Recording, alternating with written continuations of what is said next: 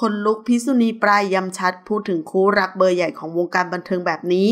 ล่าสุดวันที่ 30 มกราคม 2566 พิษุณีปลายได้ไปเป็นแขกรับเชิญในรายการอ่อแอร์เอง ผ่านทางช่อง YouTube โดยในเทปนี้มีชื่อคลิปว่า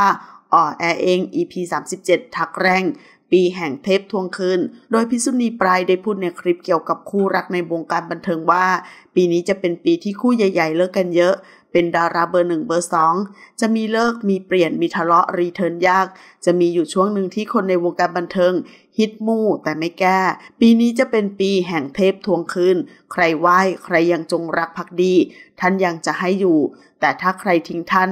ท่านเอาคืนทันที วิธีแก้คือต้องใช้ธูป365 ดอก ผลไม้9อย่าง ถ้าจำได้ว่าไหว้เทพผู้หญิงต้องใช้เครื่องสำอางของสวยๆ งามๆ เป็นเซต หรือเป็นชุดถวายท่าน แต่ถ้าเป็นเทพผู้ชายต้องเป็นเหล้าเป็นบุรี แต่ถ้าเป็นองค์พระต้องใช้ผลไม้เป็นบทสวดมนต์เพื่อใช้ในการแลกเปลี่ยน ปีนี้จะมีคนมีชื่อเสียงทำธุรกิจผิดกฎหมายถูกจับถูกเรียกยังมีอีก ขอขอบคุณข้อมูลจากที่นี่ .com ขอบคุณค่ะ